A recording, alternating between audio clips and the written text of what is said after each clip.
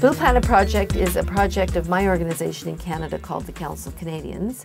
Um, and we are fighting for the right to water around the world. We work very closely with Food and Water Watch here in the United States and many organizations around the world building this global water justice movement.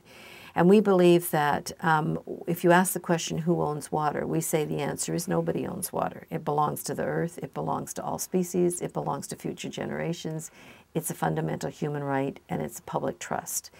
Uh, and so we feel very strongly that we have to, we, we in the global north, in our movements, have to be supportive and act in solidarity with the global south where they don't have the resources and they, you know, sometimes we'll be working with groups who have, you know, one computer held together by duct tape sort of thing. And it's really helpful if we can you know, not come down and rescue them because this is that's a terrible model and that's not what we're talking about, but rather sharing resources, sharing um, information, sometimes sharing, actually sharing, you know, getting some funding for the projects that are happening there. So that's what we do in, at the Blue Planet Project. We also challenge what we call the Lords of Water, and this is the World Water Water Council, which is um, uh, um, um an international organization that made up of members from the United Nations and the World Bank and the big water companies and the, and the water services um, development agencies of northern countries like Canada and the U.S.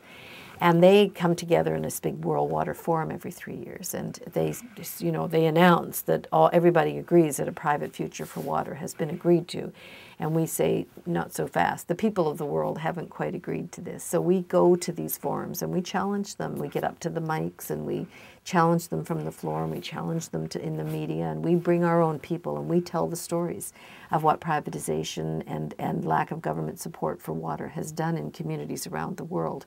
And So we tell that truth, if you will, to their power. And um, they're not so fond of us, but that's okay because, you know, you, you got to take your lumps.